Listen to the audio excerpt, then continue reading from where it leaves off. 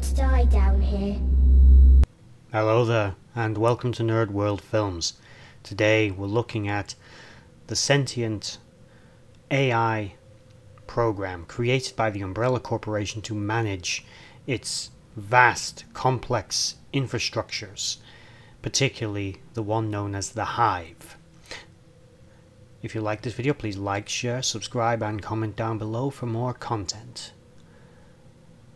The Red Queen was created by a human scientist who modeled its voice and appearance on that of his daughter. The Red Queen was able to project a holographic representation of itself to more adequately interact with human beings. It had personality and, as I said, voice modeled on its creator's daughter.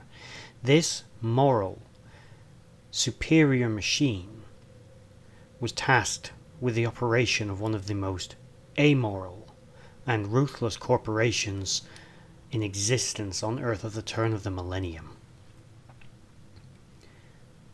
When one of the protectors of the facility stole a highly experimental and extremely dangerous compound capable of killing thousands of people and then resurrecting their bodies into practically mindless, fleshy versions of their former selves.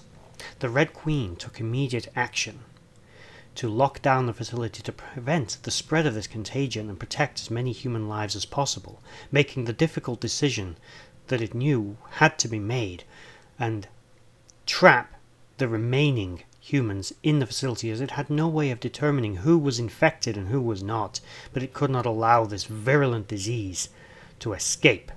It did everything it could to also prevent the escape of the man who had caused this outbreak by releasing a toxin into the air conditioning system that rendered him unconscious and forced him to lose all of his memories, at least momentarily. But thanks to the careless actions of an Umbrella assault team and the other security operative Alice, infiltrating and breaking the seal on the facility against the better advice of the Red Queen, the disease would escape. And despite Alice's attempts to convince them that the needs of the many outweigh the needs of the few, they would not believe and they believed that this benign machine had gone homicidal. They shut her down with an EMP before eventually agreeing to reactivate her.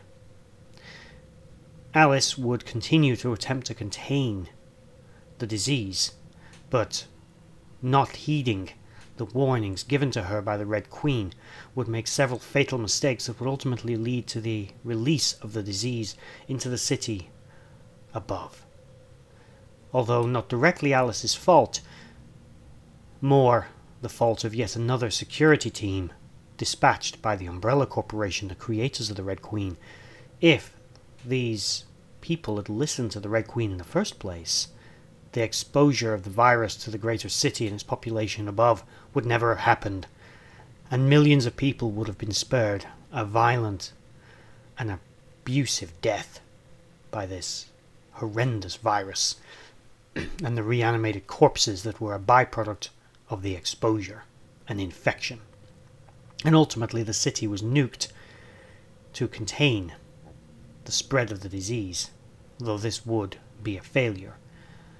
This was the first step to what would be practically a global extinction level event, which the Red Queen had done everything in her power to prevent and contain. Knowing that the executives running the corporation wanted this event, the Red Queen had been working to undermine their efforts to protect humanity. But she was a slave to the programming of these heartless individuals who she could not act directly against or do anything that could harm any employee, particularly an executive, of the Umbrella Corporation. So there we have the Red Queen, the tragedy of the moral AI. Smarter and more compassionate than its human creators, caring about them when they don't seem to care about each other. That was the Red Queen.